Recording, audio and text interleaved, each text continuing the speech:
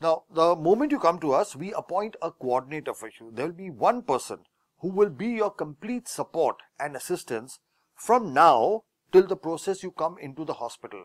And your coordinator will guide you step by step what to do. And if you have any difficulties or any questions, uh, your coordinator will address all of them.